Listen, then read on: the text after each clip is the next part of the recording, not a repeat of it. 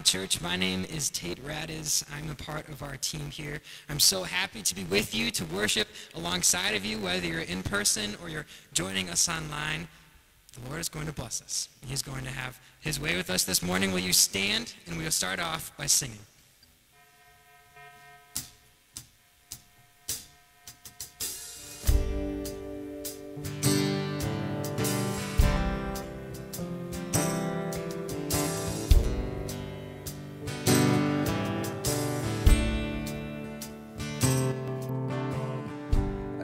I've been held by the Savior.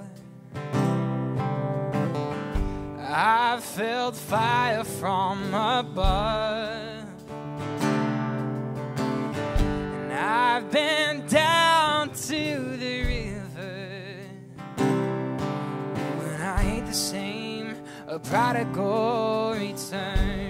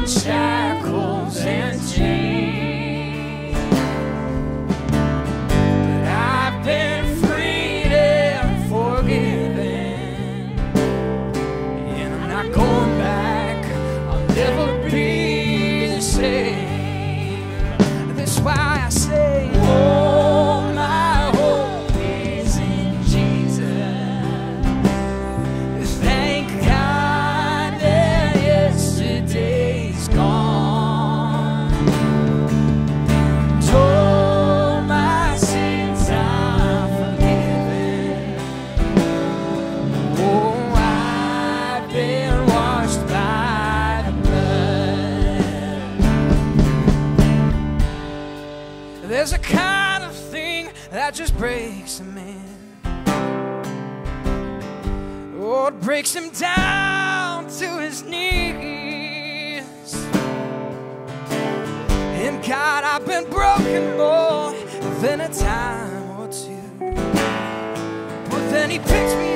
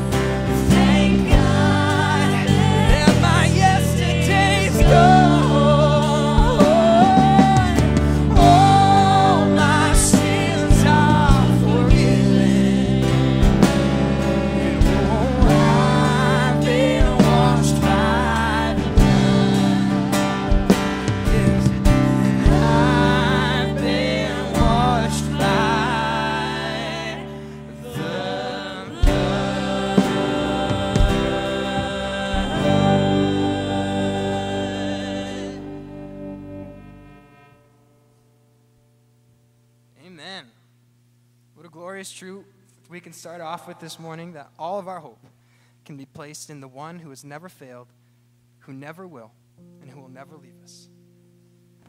As we think of this truth, we can be still. As we place all of our trust in Him, no matter what comes our way, we can look to Christ and know that He is with us. Let's sing this together.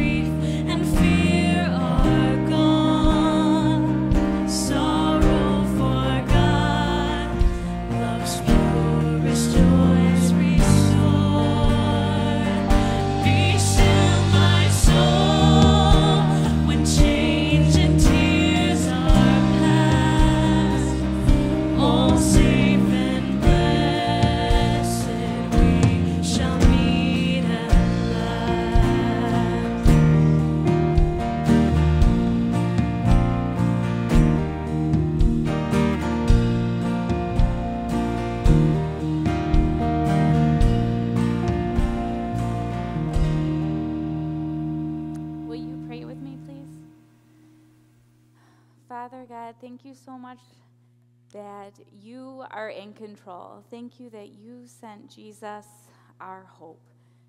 And we just put our hope and trust in you today, as many of us have uh, friends and loved ones who are sick, Lord. I just pray that right now, um, amidst the flu season and COVID and everything else going on, that you will just give extra peace and reassurance surrounding all of our sicknesses and symptoms, and that you will just be a comfort to us right now, Lord. I also pray for those who have lost a loved one. It seems that around the holidays, we feel the loss so much more deeply. The whole feels bigger. And I pray, Lord, that we will look only to you to fill that space, that we won't look to traditions, Christmas presents, cookies, whatever whatever it is that we are trying to seek to fill the emptiness, Lord, that we will just remember that you are the healer and that space in our life can only be filled with you.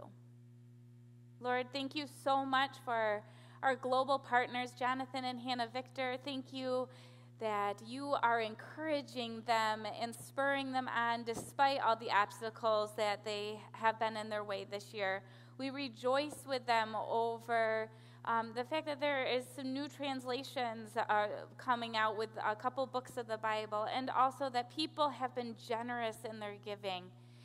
Uh, they were able to provide meals for a month for over a hundred families because of one person's generosity.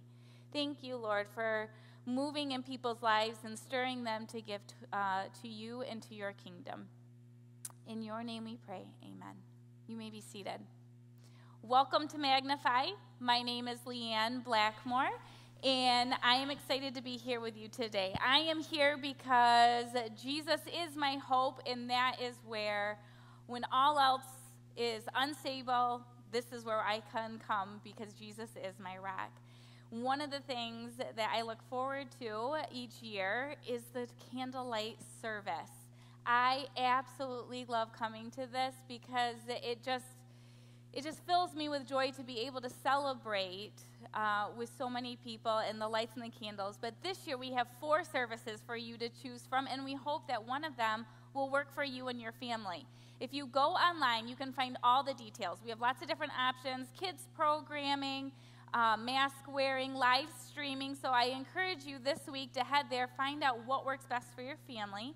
The 10 a.m. service is an RSVP, so please take note of that we are able to do things like candlelight and even our kids' Christmas program from last week because of your generous giving. So, right now, we've been talking about the shape of giving, and I would like to introduce you to my friends, Phil and Anita Haskins, and they're going to come and share how giving has shaped their life. Good morning. We are Phil and Anita, and um, just wanted to let you know how Magnify has really uh, given to us and uh, stepped into our life and just poured into us through the different ministries and into our kids also. And um, one of the things over the last few years that we have realized is um, giving is more than just about the money that we're giving. So this is about our heart in it. And um, you know, it's easy to, to let that bank account kind of kind of build up at times, and um, it's easy to find our security in that, and our, our put our trust and our faith in that. But when we give money, we've realized that um, we're putting our, our faith and our hope and our trust in Jesus to provide for us and not that bank account. That bank account will fail us at some point. So um, that's what it has done through our giving. Magnify has been an awesome resource for our, us for our marriage. Um, the home builders class has been amazing. Our small groups have been challenging.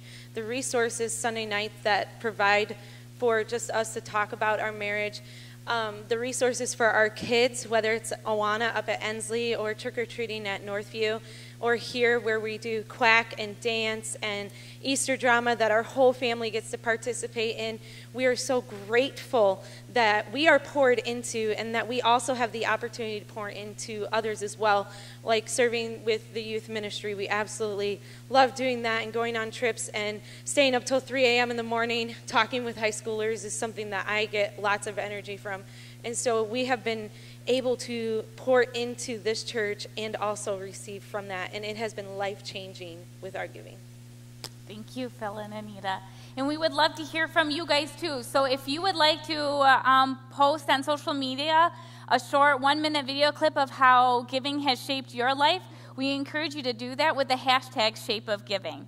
And today we're not passing the plate, but you can look on the screen for the ways that you can give, and I encourage you to do so. Now, will you join me as we take a step back into history with Matt Zainea and learning about the life of David?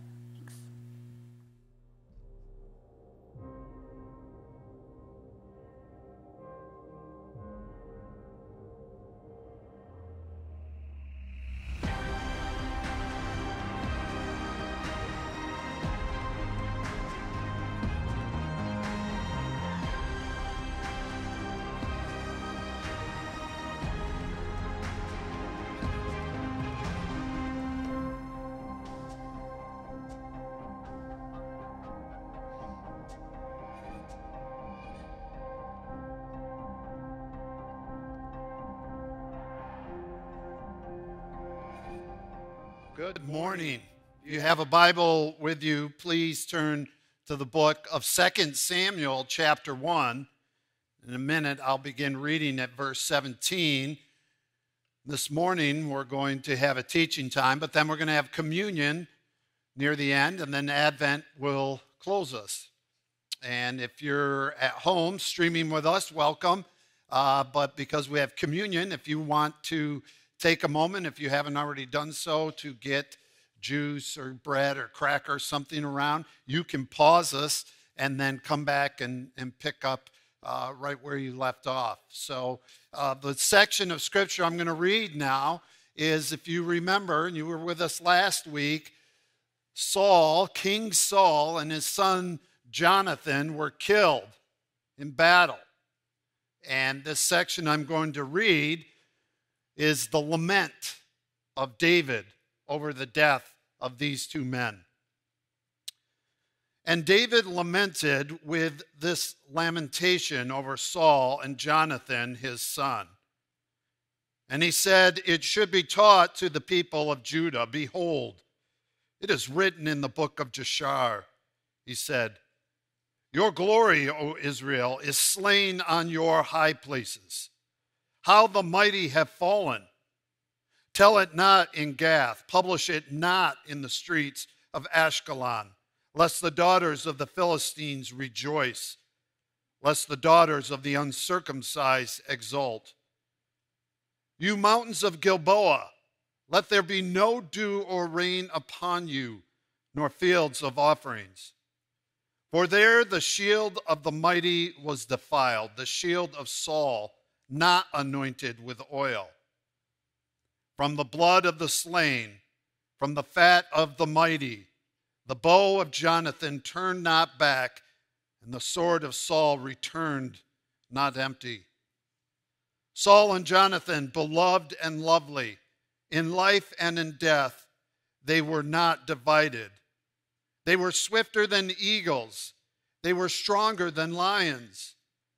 You daughters of Israel, weep over Saul, who clothed you luxuriously in scarlet, who put ornaments of gold on your apparel. How the mighty have fallen in the midst of the battle. Jonathan lies slain on your high places. I am distressed for you, my brother Jonathan. Very pleasant you have been to me. Your love to me was extraordinary, surpassing the love of women. How the mighty have fallen, and the weapons of war perished. Can you think of a time that you were honored? Somebody or somebody's honored you in some way. I thought about this last week, and as I walked into my office, I, I was thinking about it, and I saw on my shelf, I, I have this vest on my shelf. A few years ago, I was uh, over teaching pastors with Life International in India. And I've been there three times, and I was in a new place, and we taught, uh, we were there five days and spent a lot of time with these men and women and taught and had a good time. And at the end, they took a minute and brought me up front because they wanted to honor me. And my host gave me this vest and in the area of India he was in, all the different tribes have a different vest with a design and embroidery. And somebody put a lot of time and effort and work into this, and they just gave it to me. As if to say, You're one of us. Welcome. What an honor. How have you been honored? So I want us to think about that as we go through our teaching today. And I want to take this period right after Saul's death. So Saul and Jonathan are killed on Mount Gilboa. The Philistines have come in and uh, defeated them. And right at the time Saul is wounded, Jonathan's already dead. Saul is wounded. He asks his armor bearer to run him through with a sword so he won't be killed by the Philistines. And, and the sword armor bearer is terrified. He won't do it. And so Saul falls on his own sword, takes his life. And here's part of what happened afterward. The next day, when the Philistines came to strip the slain, they found Saul and his three sons fallen on Mount Gilboa. So they cut off his head and stripped off his armor and sent messengers throughout the land of the Philistines to carry the good news to the house of their idols and to the people. They put his armor in the temple of Ashtaroth, and they fastened his body to the wall of Bethshan. So, when they find the king of their enemy, we see what they do. And the body's going to go on display. The armor, you serve to God. Our God's clearly stronger. So your armor is going to go in the temple of our goddess. And so this is a way of humiliating and dishonoring your opponent. And it was commonly done. And that's what they do to Saul and Jonathan and Israel. Some Israelites hear about it and they do something about it. But when the inhabitants of Jabesh Gilead heard what the Philistines had done to Saul, all the valiant men arose and went all night and took the body of Saul and the bodies of his sons from the wall of Bethshan. And they came to Jabesh and burned them there. And they took their bones and buried them under the tamarisk tree in Jabesh and fasted seven days. Ah, these men want to restore honor to their king, to God, to Israel. How long did they wait to act on this? They didn't wait at all. They went through the night and they got there, retrieved what they came for, and they burned it, not to cremate it, but because these bodies had been uh, cut up and uh, not only wounded, but I'm sure there was some decay. So they burned them down to the bones, and then they gave the bones an honorable burial. That's how important honor was in Israel, in the ancient Near East. And what we're going to see with this story now was Saul and Jonathan dead. The chaos begins to resolve that we saw last week. And so we looked at the, the triangular relationship with these three. And Saul's envy, we watched it escalate and create chaos and murder and hatred. But now that's going to fade, and our, the chaos of the story is going to begin to diminish. What happens, David hears about the killing of Saul when a man comes, an Amalekite. And he had come upon the slain body of Saul, taken his crown, and come back. And now he's going to report to David. So when he first gets there, David honors him and asks for a report. And the man gives a report that he saw, he was there with Saul, and Saul was alive. Now he's making this up because he's trying to gain honor under false pretenses from David. So he says, I was there, and Saul was mortally wounded, and he asked me to kill him, so I killed him. And he thinks this is going to get him honor with David. Have you ever tried to get honor under false pretenses? Well, this man did. And when David, he believes the guy, he doesn't know he's lying. And he says, How dare you dare to touch the king's anointed and to kill him. And David has this man killed. So, expecting honor, David sees the truth, the dishonor, and he has him killed. And then David laments, and the, that's what I read at the start. He laments Saul and Jonathan to give them honor. And notice how he only had good to say. This is Saul, who, who's been trying to kill him repeatedly, who has made the last decade of his life miserable. And yet, when he gets the chance to speak to, about him post death, he honors him.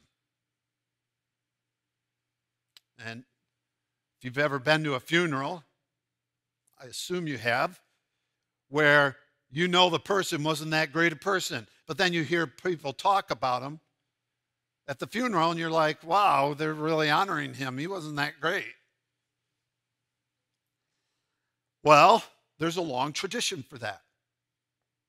And there is something, maybe even right, about doing that.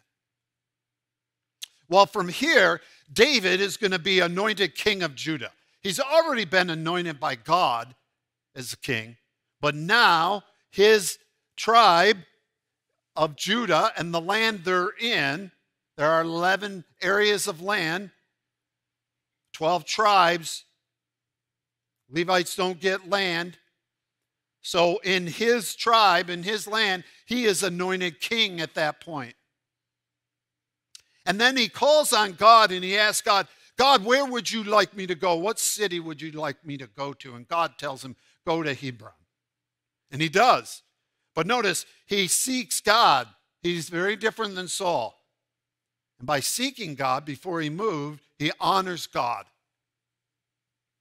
And then he hears about the men of Jabesh Gilead who retrieved Saul and Jonathan's bodies and gave them an honorable burial. And then he blesses and honors them. And now, from here, the kingdom of Israel, united, is going to begin to solidify.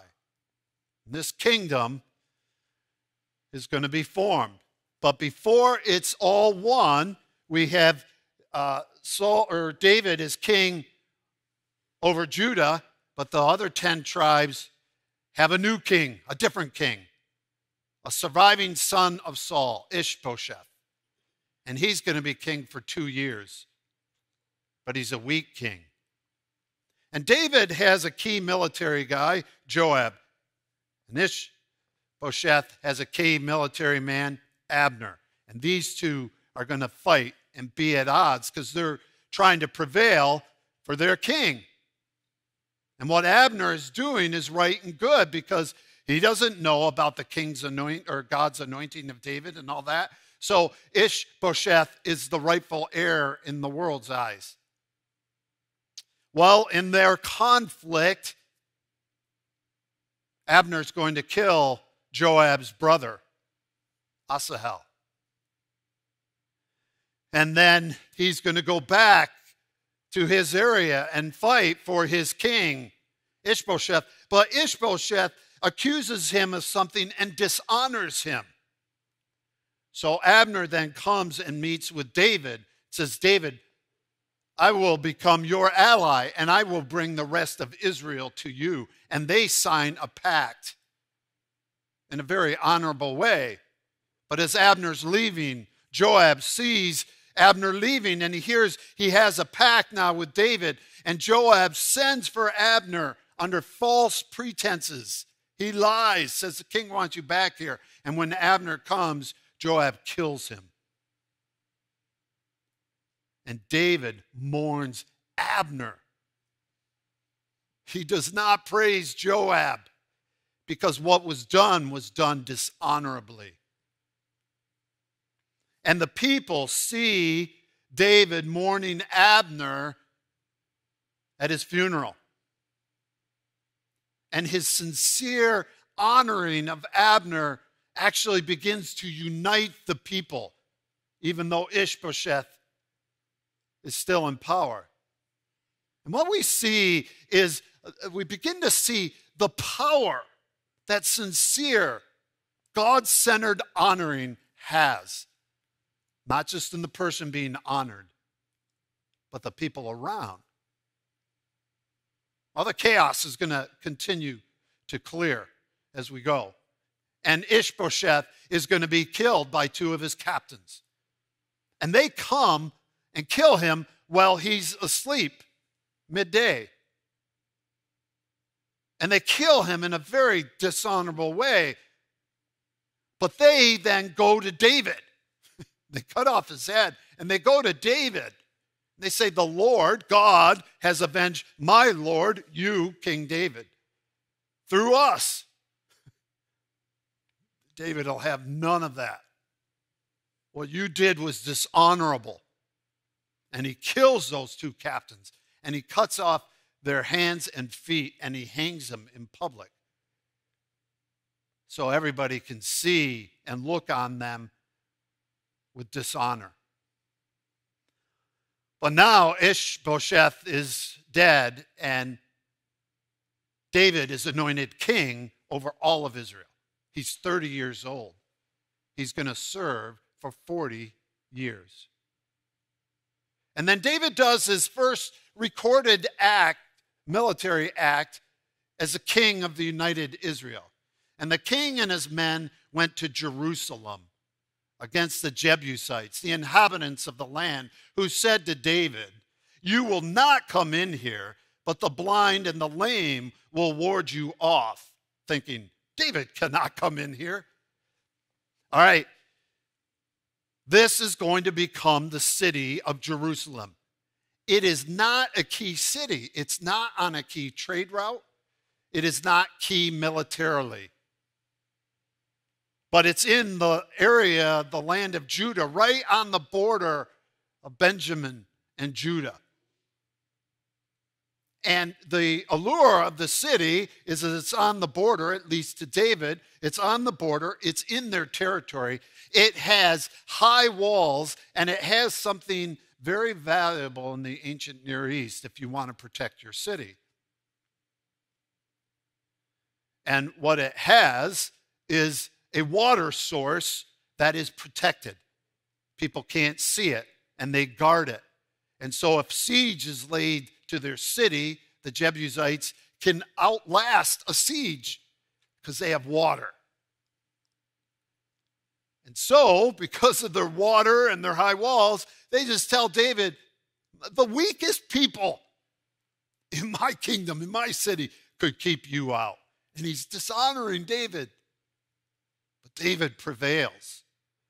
David said on that day, Whoever would strike the Jebusites, let him get up the water shaft to attack the lame and the blind, who are hated by David's soul.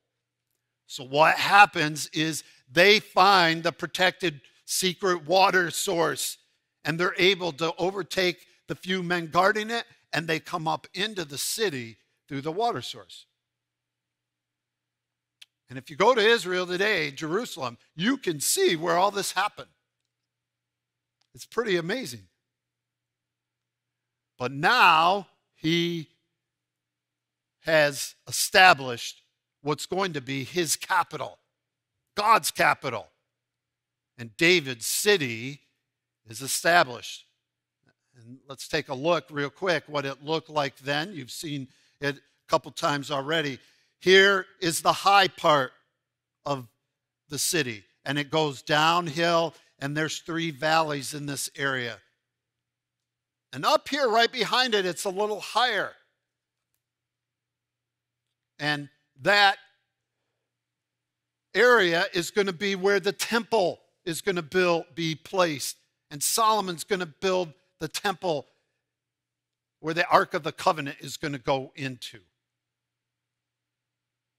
And this is the spot where Abraham went to sacrifice Isaac. So if you go to Israel today, this is right where the Temple Mount is today. And they have excavations of this city now. But what I want you and I to understand is as we're, we're watching the kingdom solidify right in the middle of this story, is the establishing of Jerusalem as God's capital. But what's, what's going on all around in the stories and its honor? And yes, they use military might to capture the city, but what really establishes a people with loyalty and love and true strength? It's honor. Each act of honor David does builds the city. And it's almost like the acts of honor are bricks that build a city. In a similar way, that's how God's kingdom is built today. We'll talk more about that in a bit. But now the kingdom continues to strengthen at this point. And David's going to defeat the Philistines. They're going to attack, come into a valley. David calls on God. He defeats them. They come back. He calls on God again, and, and God says, Go behind them. And when you, when you hear the noise of, of an army coming in the tops of the trees, I have delivered them to you. And he does. And now David sends for the ark of the covenant, the meeting place, the place where God meets with humanity. He's going to bring that now into Jerusalem. And so the ark is packed for travel. And they carried the ark of God on a new cart and brought it out of the house of Abinadab, which was on the hill. And Uzzah and Ahio, the son of Abinadab, were driving the new cart with the ark of God. And Ahio went before the ark. So they go, they build this cart, they load it up, and now they're heading to Jerusalem, to the new capital. But something goes wrong. And when they came to the threshing floor of Nacon, Uzzah put out his hand to the ark of God and took hold of it. For the oxen stumbled, and the anger of the Lord was kindled against Uzzah, and God struck him down there because of his error. He died there beside the ark of God. Wow. Are you like me? And does a little careful question about how fair that was to Uzzah? He's just trying to help. And I think David feels some of that because he's angry. So, whose fault was this? It was David's. And once again, David's mistake, his dishonor of God, is going to cost somebody else their life, just like the priest of Nob. You see, God, way back under Moses, gave instructions how to build the ark. And the ark was built with these rings on it. And it's gold. And those rings are there because there was a certain way you were supposed to carry it. And only the Levites are supposed to carry it. And they put these long rods of wood in there. And they're long. And so when they're carrying it, it's on their shoulders. It's not in a cart, not with oxen. Why?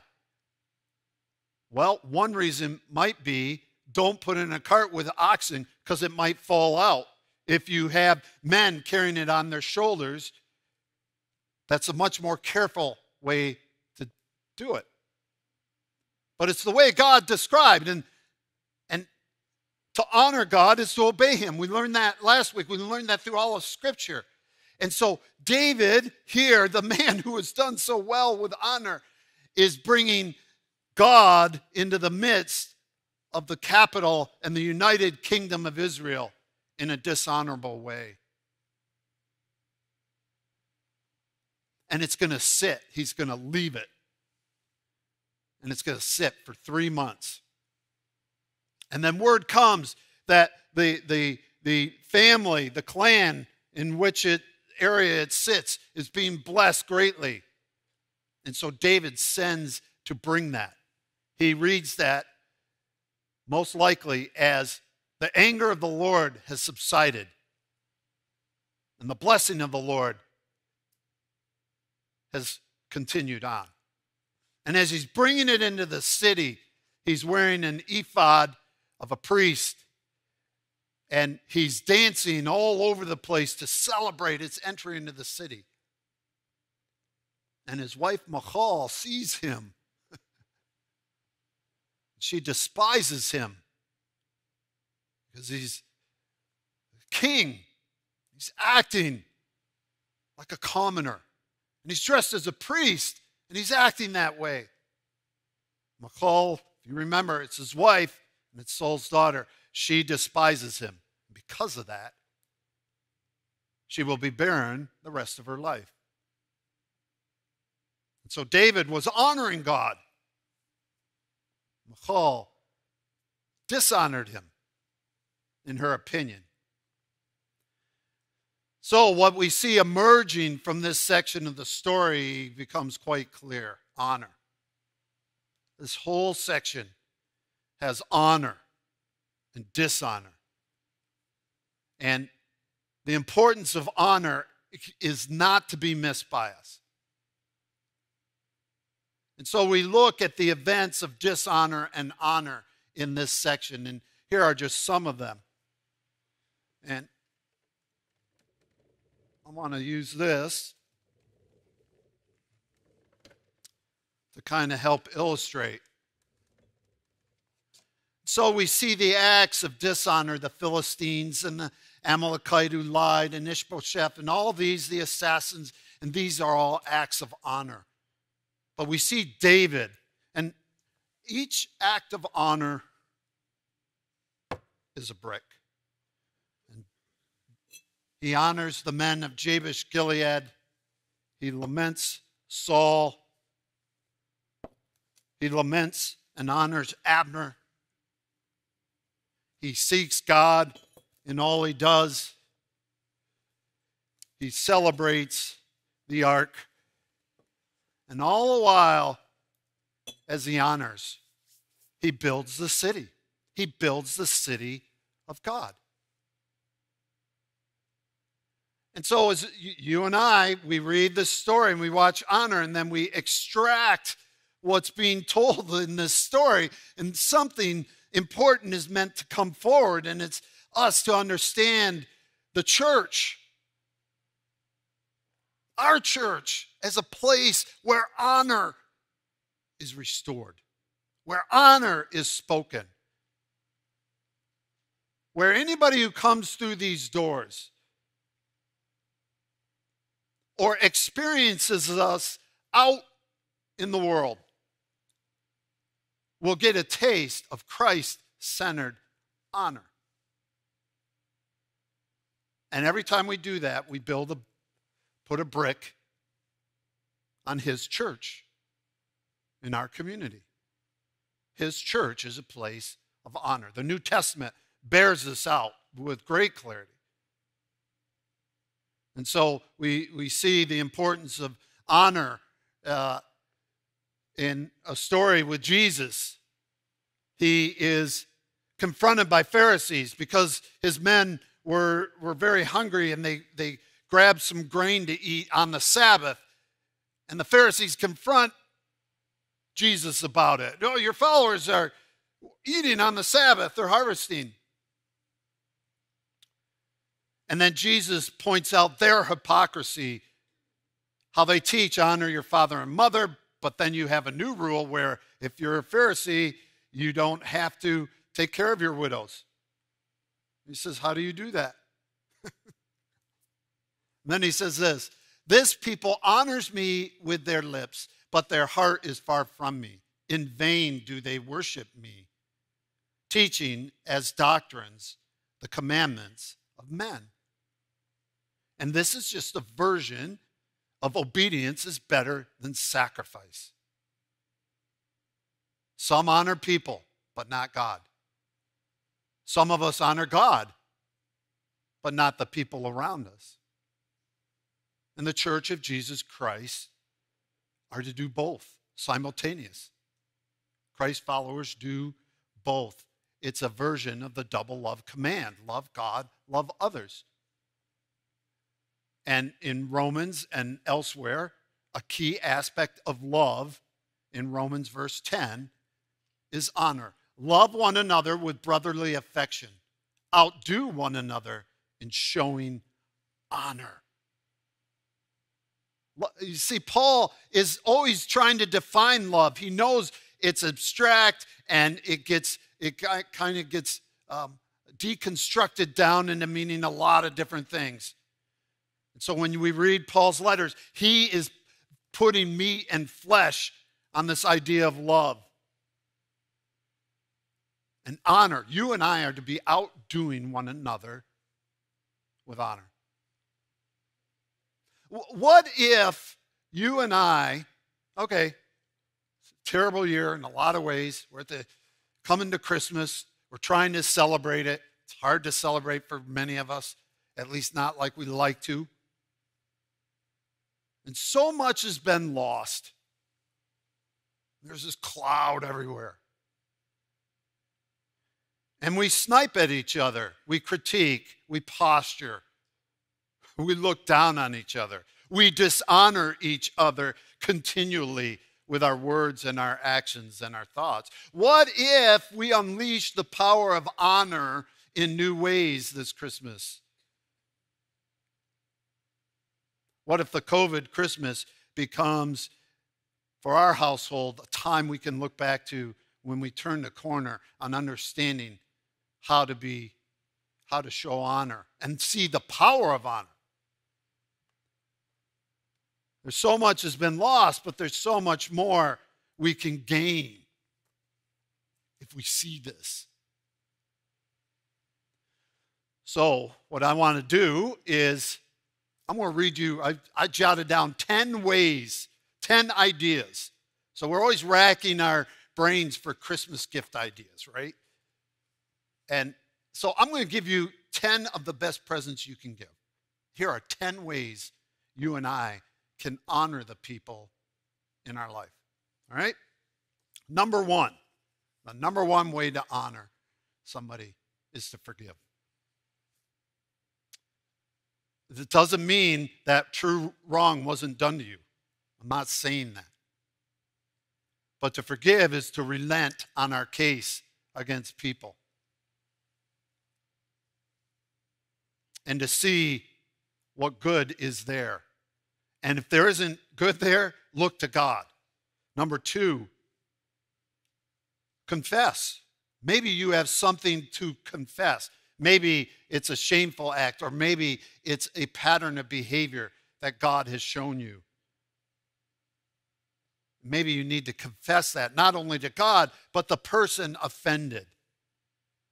Don't just confess it to someone, confess it to the person who will be honored when you do it. Related to that, an apology, to apologize. When I say apologize, a full apology, not I if I, whatever I did, I'm sorry for, or I'm sorry you feel that way. No, I did X. I am sorry I did that to you. I won't do that again. To acknowledge, acknowledge things in other people's lives, call them out like this. Bring honor to what somebody else has done, who they are. Every uh, year, when it's somebody's birthday, at the end of the night, we gather for prayer we, and we have a time of gratitude. But when it's somebody's birthday in our house, everybody goes around and says something uh, they like about that person. And sometimes we come to that uh, a birthday and people are kind of moaning, I don't want to do that. And I said, hey, to learn how to speak words of honor into each other's life is lost. We need to be able to do that as the people of God. And when we do it, don't put a little joke or a barb with it. Speak honor and let it sit there and do its work. Presence, to give somebody your time, your undivided attention, and to listen to them, not give advice, not give your story. Number six, connect. Who's somebody that you haven't talked to in a while? And it would feel awkward to connect with them, and you wonder what's going on with them, call them.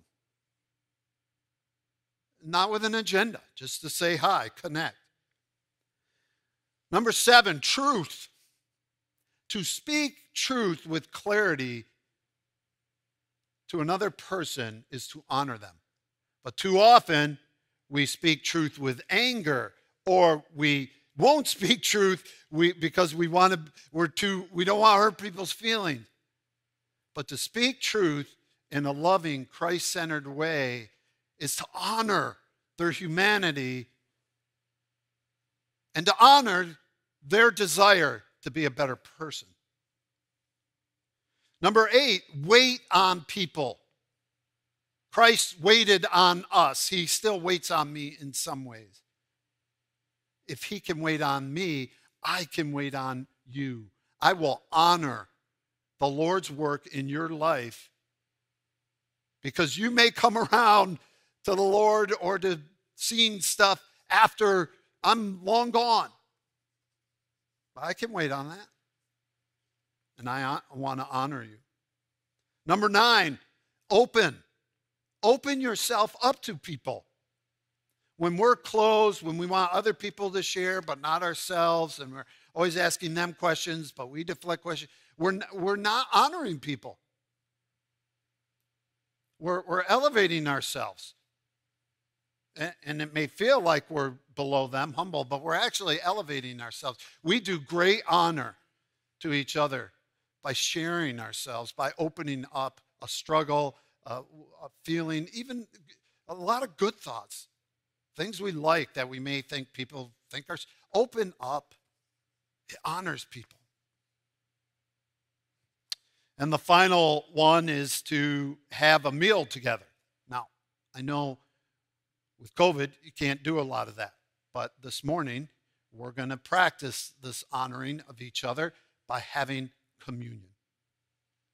And so, what we're going to do is uh, Tate is going to come up and uh, he's just going to play for a short time. And he is uh, going to play and give us about a minute and a half of reflection time. So, take time to think about this topic of honor and reflect on it and where God might want you to honor somebody today. And then I'll come back and we'll read our scripture and, and take our symbolic meal together.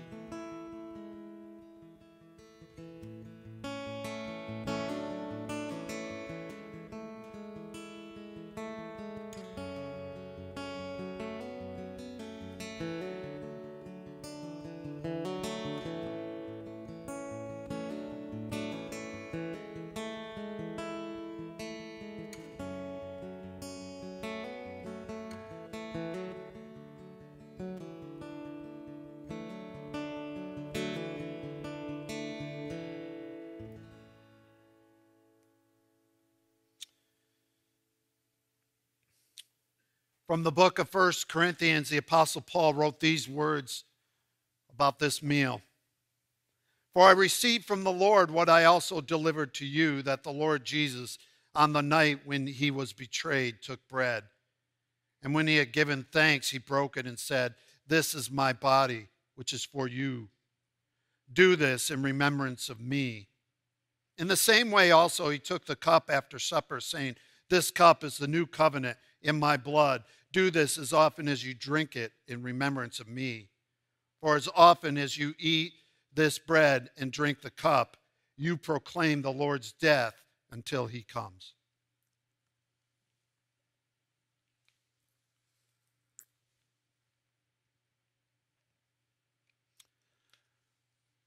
Let's stand together and let's read a piece of scripture as our prayer, our post communion prayer. Follow with me as we read this. Christ Jesus came into the world to save sinners, of whom I am the foremost. But I receive mercy for this reason that in me, as the foremost, Jesus Christ might display his perfect patience as an example to those who were to believe in him for eternal life. To the King of the ages, immortal, invisible, the only God, be honor and glory forever and ever. Amen. You can be seated, and now we're going to have a time of our Advent.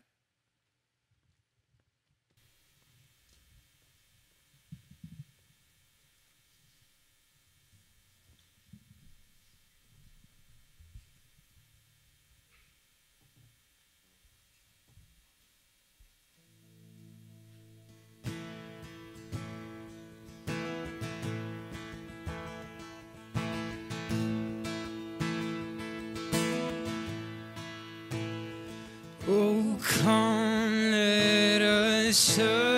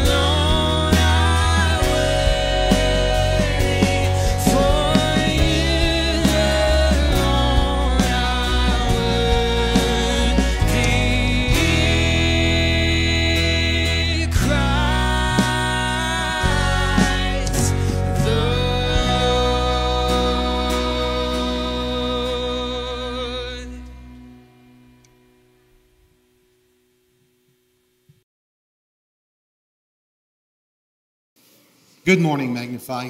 We're the Lentz family. It's time now for our special preparations for Christmas. Today is the third Sunday in Advent, and we would like to invite all those worshiping at home to get a candle and light it along with us. Why do we light candles and celebrate Advent? Advent means the arrival of someone or something important. Baby Jesus arrived on Christmas. Yes, Jesus was, is called the Son of David.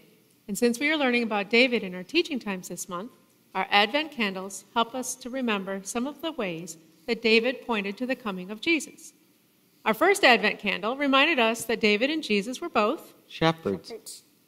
and our second Advent candle reminds us that both David and Jesus were also Warriors. Let's see what our clue is for the third candle. A cross. Jesus came not only to be born as a baby, but also to die on the cross so that he could deliver us from sin and death. When David became king, he had to deliver his people from many enemies, from the Philistines and the Ammonites, the Moabites, and other nations. But each time, God enabled David to triumph over all of his enemies. David always gave the credit to God. In, in Psalm 18:2, David said, "The Lord is my rock, my fortress, and my deliverer, my God, my rock in whom I take refuge, my shield and the horn of my salvation, my stronghold." He was pointing us to Jesus, who would bring us our ultimate deliverance from sin and death and provide us with the horn of salvation. It's time to light the deliverer candle.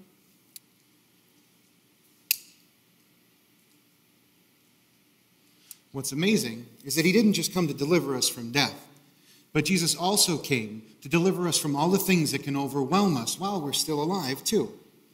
Right now. And David wrote about all of this in Psalm 23. The Lord is my shepherd, I shall not want. He maketh me to lie down in green pastures. He leadeth me beside the still waters. He restoreth my soul.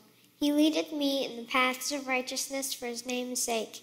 Yea, though I walk through the valley of the shadow of death, I will fear no evil, for thou art with me. Thy rod and thy staff, they comfort me.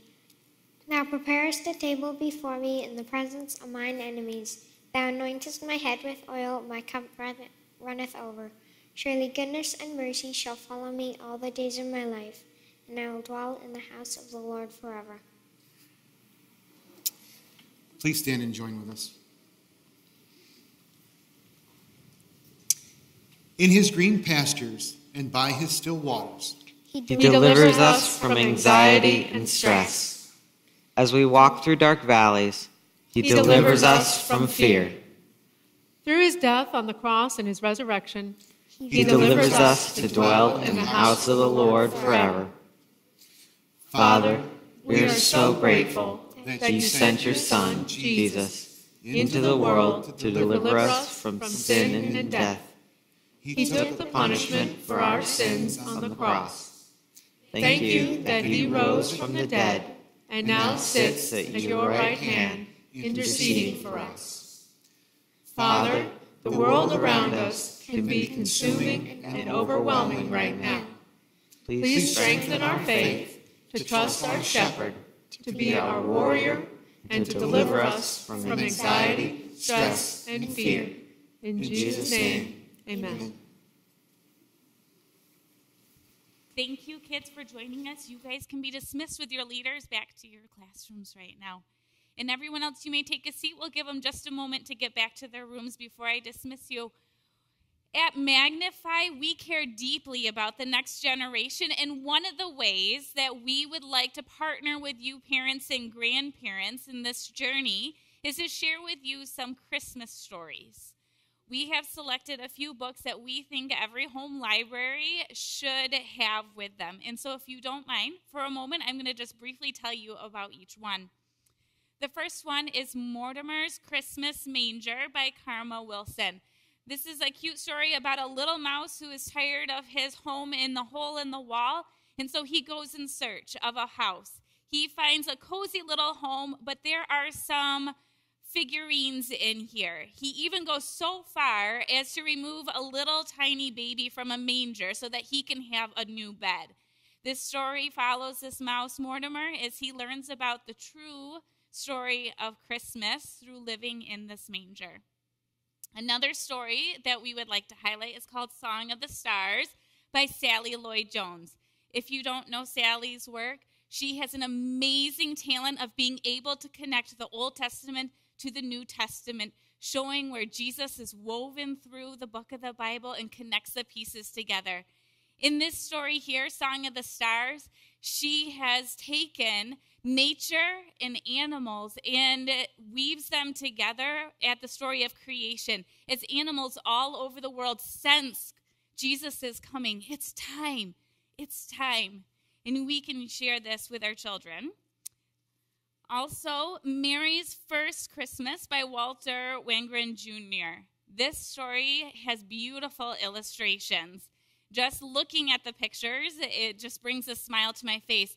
But this story Jesus tells, or sorry, Mary tells her five year old son Jesus about the night that she w- or he was born. And it is just a beautiful depiction of the Christmas story as it is told from Mary to Jesus in just the beauty of how he came to save us and he was fully human and fully God. So these are um, uh, uh, three resources that we encourage you to look at. See if one of them or all of them would be good for your family. If you're interested in them, head to Magnify's app and you can um, find these books through there. So I just want to thank you guys for coming today, for sharing your time with us, and you are dismissed.